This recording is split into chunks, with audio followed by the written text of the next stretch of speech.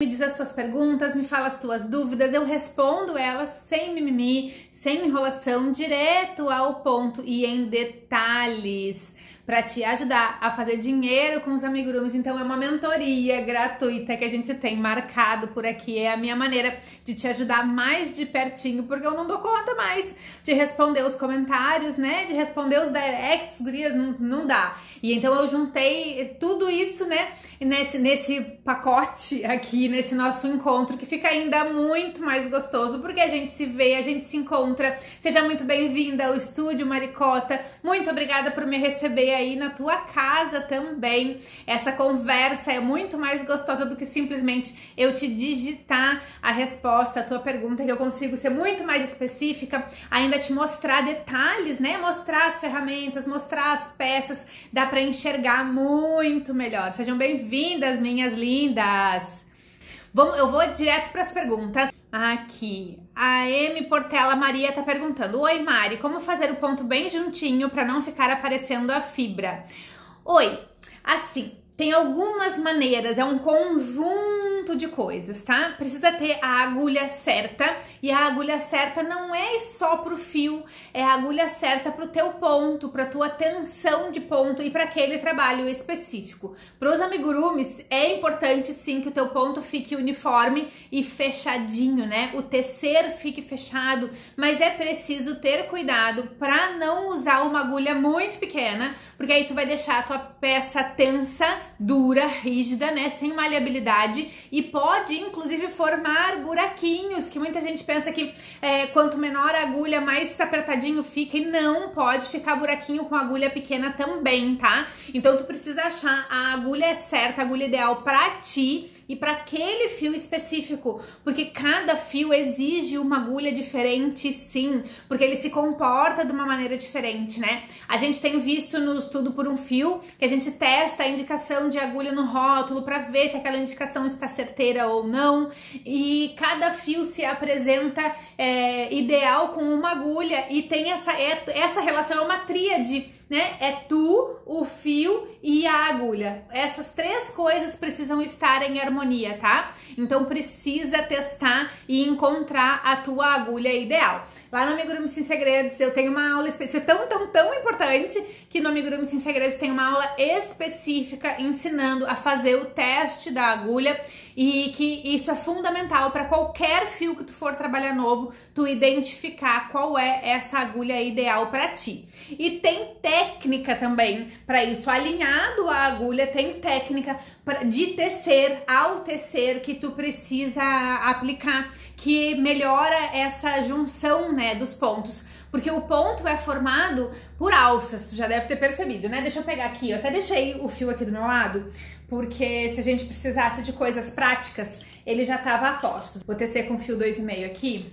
Deixa eu fazer um ponto aqui para tu conseguir perceber que o ponto são formado por é formado por alças. Eu fiz um, vou fazer outro. Então a gente tem aqui, ó, uma alça que vem, que está na agulha. A outra alça eu lacei lá. E eu vou fazer outra alcinha aqui no laçar de sair de quadro para ver se tu consegue enxergar melhor.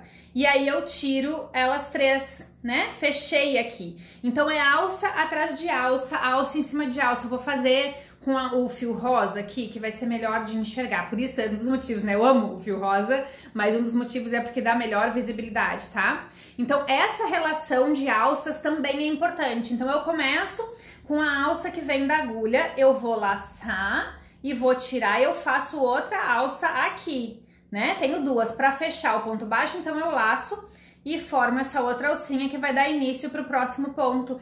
Essa relação de alças também precisa ter um equilíbrio, tá?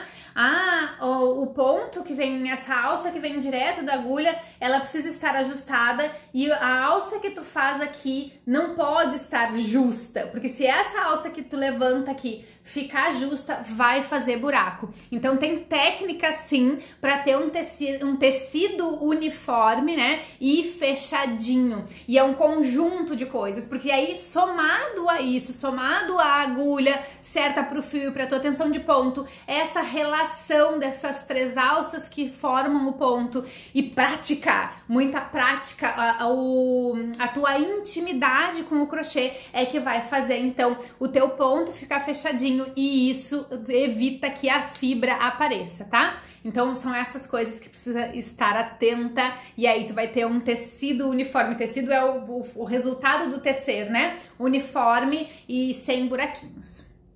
A Fábio tá falando que tem dificuldade nas diminuições, que normalmente fica algum buraquinho. Tem técnica também, Fábio, lá tão específica, tão especial, que tem aula no Amigurumi Sem Segredos revelando esse segredo de como diminuir é, os buraquinhos depois da diminuição, diminuir depois da diminuição, tá?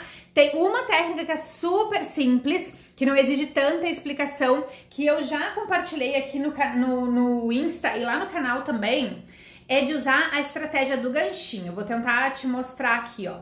Quando a gente está fazendo diminuições, normalmente no fechamento de uma bolinha, que a peça vai justamente se fechando, fica difícil de laçar e aí a gente acaba fazendo essas alças grandes. Lembra que eu te falei? A relação das alças que formam o ponto? Então, quando tu fica difícil de ir lá buscar, tu acaba fazendo essas alças mais frouxas. E quando tu faz essas alças mais frouxas, o teu ponto fica com buraquinhos, tá? Então, uma estratégia é a estratégia do ganchinho. Em vez de tu pegar normalmente assim, Deixa eu tirar aqui de novo para não ficar. Normalmente a gente pegaria assim. Tu vai levantar a tua agulha e vai virar e vai laçar a alça do ponto assim. Por isso que eu chamo de estratégia do ganchinho, tá? Que tu levanta e vai usar o ganchinho para ir lá e pescar. Levanta ela assim e pesca. E aí fica mais fácil de tu pegar e aquela alça fica mais justinha, tá?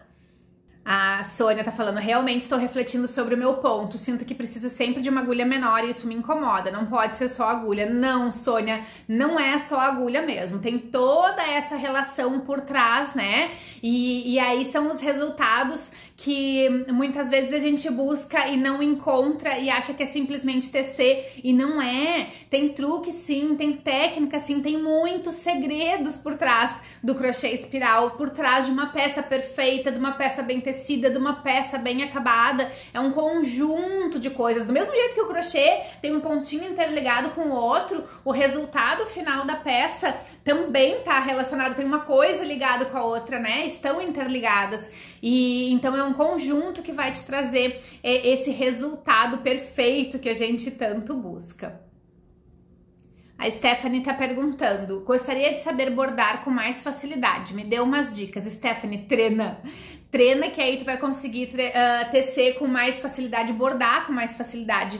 O bordado é uma técnica também, né? É uma técnica, inclusive, que é profissão. Muitas pessoas são bordadeiras profissionais e elas só alcançaram esse nível treinando, treinando, treinando. Esse é um dos motivos que as aulas lá, da, da, as peças todas do Amigurumi Sem Segredos, eu tô me repetindo, Gurias, mas é, eu tô, eu tô hum, querendo te mostrar a importância disso, tá? Todas as peças que a gente tece juntas lá no treinamento são com os olhos bordados, que é justamente para te dar essa prática e esse treinamento. Então, ah, tu não quer tecer uma peça, uma boneca, um bichinho para depois treinar e aí estragar? Tece um monte de amostrinhas ou um monte de bolinhas né? Ou então pega uma bolinha, faz uma receita da bolinha, um pouco maior para tu poder ter espaço, ou então um crochê de vai e vem, tece um quadradinho e aí tu treina o bordar ali nessas peças, né? Porque aí tu não estraga um, não precisa, não estraga um bichinho ou uma boneca, tu não precisa tecer um bichinho, uma boneca inteiro para tu poder treinar esses bordados. Treina com uma bolinha ou treina com um quadradinho, pega lá aquela expressão facial e vai lá e treina, tá? Tem técnica também, né? É pura técnica o bordado, mas a prática é que vai te levar, a facilidade vai te levar à perfeição que tu tanto busca, tá? Então é intimidade, né? Entendendo como é que funciona, treinando e gerando intimidade com o bordado. A Mara tá dizendo: amo fazer amigurumis para presentear, não penso em vender, mas sempre aparece alguém encomendando e não sei dizer, não sei como dizer não.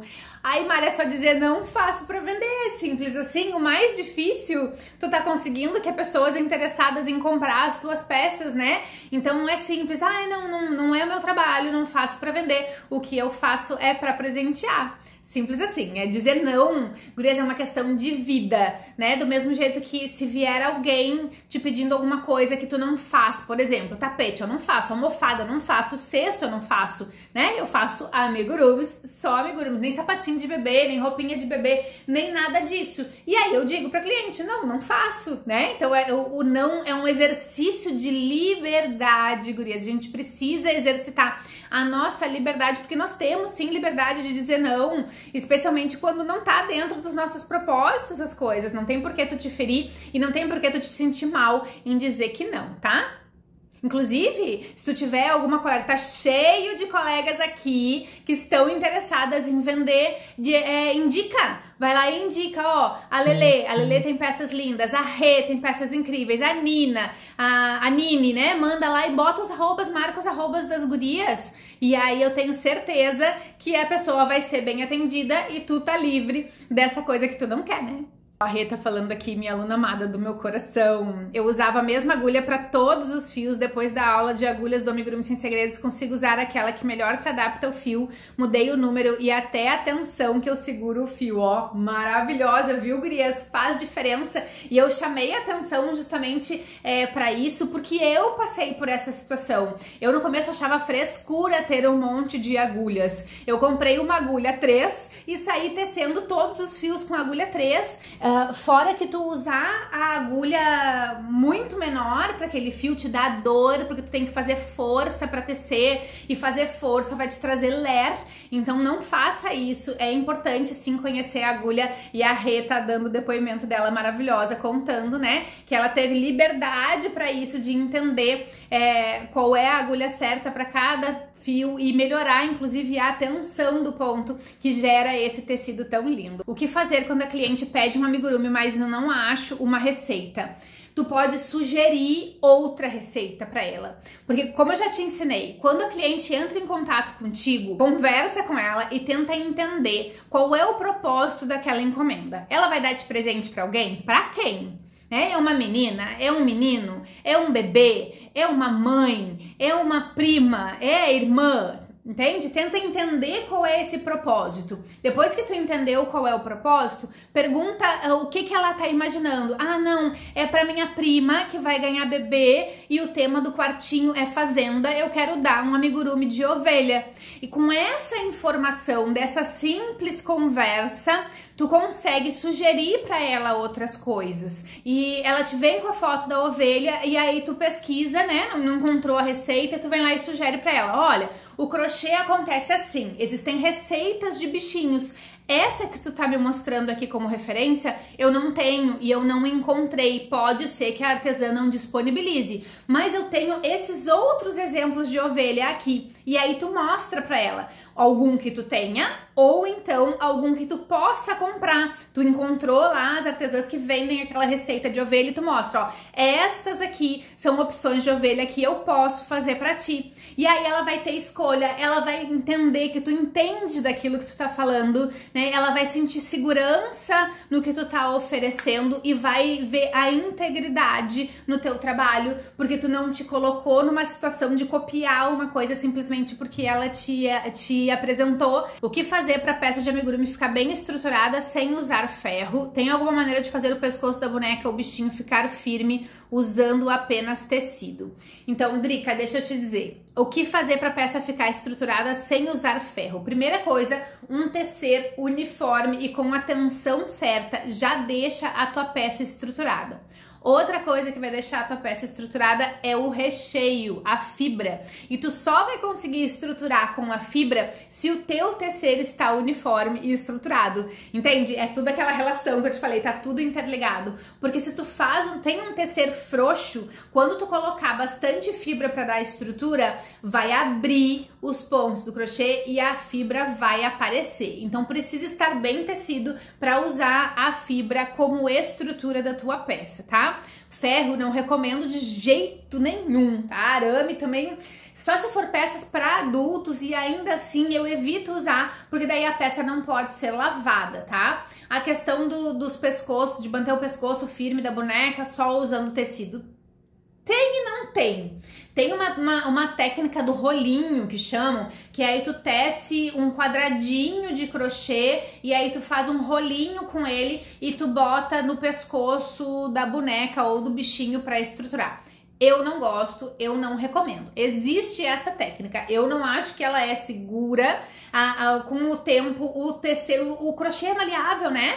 Então ele vai ganhando essa maleabilidade e o pescoço da boneca vai ficando mole e te toma muito tempo, porque tu tem que tecer, não é um quadrado, tem que tecer um retângulo grande para tu poder enrolar e realmente ficar firme. Então eu não uso essa estratégia. Não posso dizer que não existe, porque ela existe, tá lá. Tô respondendo a tua pergunta. Existe, mas eu não recomendo. A Lili tá perguntando, deixa eu botar aqui mas nesse caso devemos mostrar qual é o preço da venda da receita? Qual é o preço da, que tu vai pagar para comprar a receita, Lili? Se é isso, não. Então aí tu diz, essa, esse modelo, eu tenho esses três modelos. Esse custa tanto, esse custa tanto e esse outro custa tanto, tá? É ela não tem que ter essa relação é, que tu tem que comprar receita e tal. Não, ela não precisa entender dessa negociação, mas ela precisa saber que se, se as peças tiverem preços diferentes, tu precisa especificar, né? A ovelha 1 custa tanto, a ovelha 2 custa tanto, a ovelha 3 custa tanto, e aí ela decide tanto pela estética quanto pelo preço. Final de ano é normal diminuírem as encomendas? Eu foquei no nicho e não fiz peças de Natal. É e não é. O que que acontece? No Natal, nessa, nesse final de ano, tem muita coisa acontecendo, né? a gente tem final de ano letivo, a gente tem final de ano na empresa, a gente tem presente de um monte de coisa, tem que pre se preparar para preparar a ceia. É, é uma questão de, de fechamento de, de é, financeiro das empresas, né? O ano fiscal vai terminando também. Então tem muita coisa, as pessoas ficam sobrecarregadas e esse ano mais ainda, né? Porque aí a gente fica vendo as notícias acontecendo, um novo lockdown tá vindo, aí a questão de o, as festas de ano novo estão sendo canceladas, e aí a gente fica, o que, que eu faço? Tava tudo programadinho, e as pessoas ficam um pouco desnorteadas, tá? Mas assim, não está errado focar no nicho, não fez peças de Natal? Não tem menor problema, eu nunca fiz peças de Natal, nunca, tá? Nunca fiz peças específicas para venda de Natal. A primeira peça de Natal que eu fiz, gurias, foi para vocês, minhas BFFs amadas, que foi o Nino, aquela bolinha ursinho natalino, né? A bolinha de Natal é, em formato de urso de pelúcia para então enfeitar a tua árvore. Foi a única peça de Natal que eu fiz e nunca me faltou, me faltaram as encomendas. O que que tu pode fazer, Rê? Vou aproveitar que não, não te deixar assim no vazio. Se tu tem clientes já recorrentes, que eu tenho visto que tu tem uns depoimentos lindos das tuas clientes, e tu tem peças à pronta entrega, tu pode entrar em contato com elas e perguntar: olha, pra, tu tem interesse em fazer alguma. presentear alguém com um amigurumi? Com uma peça, com, uma, com um bichinho, com uma boneca? Pra eu conseguir. Eu, eu ainda consigo te entregar até o Natal. Eu tenho essa, essa e essa peças disponíveis. Tu pode gravar um vídeo para mostrar para ela, né? Manda pelo direct, se tem o contato dela no direct, manda pelo WhatsApp se tu tem o contato dela no WhatsApp, um vídeo fica muito simpático, ela consegue ver as peças que tu tem aí a pronta entrega e tu consegue trazer aquela cliente que já experimentou a qualidade do teu trabalho de volta para ti. No caso, ah, não quero contatar com as clientes, eu já contatei com os clientes e nenhuma delas voltou, que eu duvido. Algumas delas vão comprar sim, tá? Tu pode fazer isso nos teus stories. Ó, oh, ainda dá tempo de receber as peças para o Natal. Eu tenho essa, essa e essa peças disponíveis. Elas custam tanto, estão à pronta entrega. Se tu encomendar até segunda-feira, eu posto na segunda mesmo e, pra, e chega pra ti aí até o Natal. E tu não deixa de presentear com amor, com uma peça é, personalizada, uma peça feita à mão, que tem muito mais significado, significado de aproximação, que é o que a gente precisa na época que a gente vive, tá? Então pega as peças que tu tem aí e chama as pessoas, chama, porque elas estão atordoadas com esse final de ano. Eu, inclusive, meu, meu filho estava falando, né? É, ontem a gente estava no almoço e ele disse: Ah, mãe, o Natal já é semana que vem. Eu disse: Não, filho, não é. É daqui a duas semanas o Natal. Porque ele tá querendo o presente dele, né?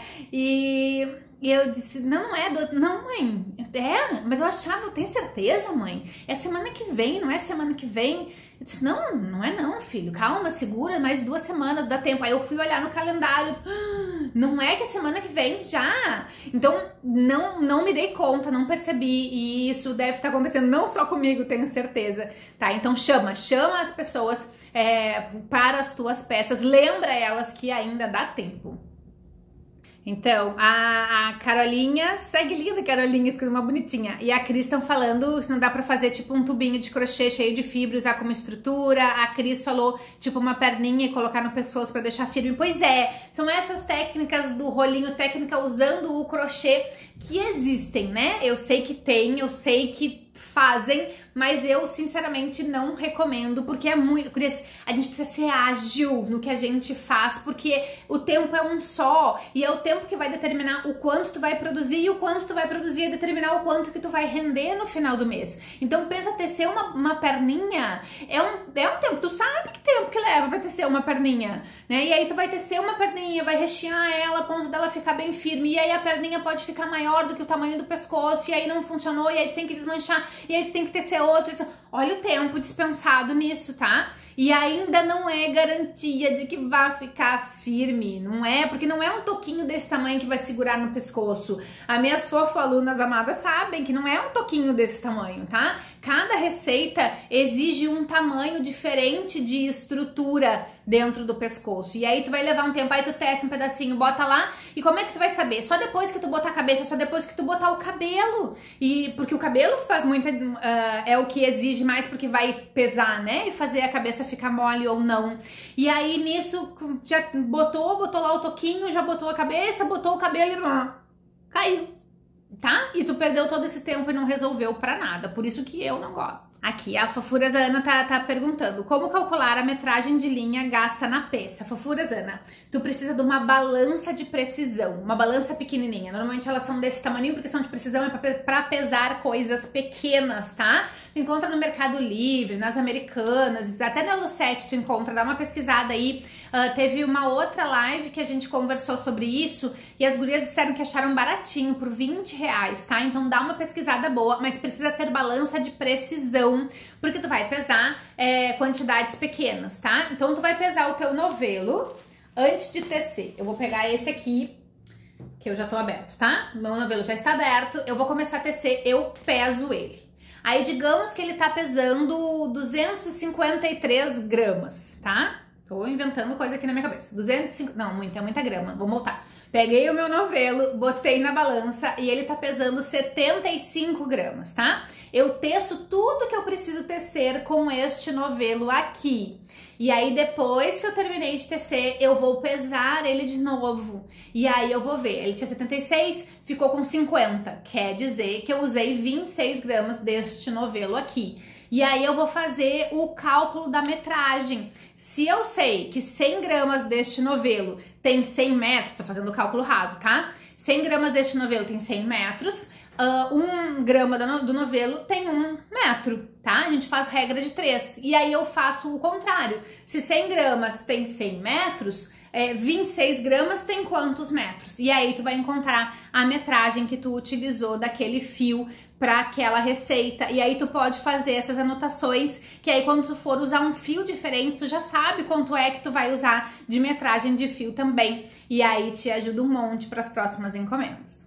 A Isabela Carolina tá perguntando qual linha vocês usam mais. Eu uso amigurumi da Círculo 100% algodão mercerizado, é o que eu mais uso, tá? Mas eu procuro variar também para ter aspectos diferentes nas minhas peças.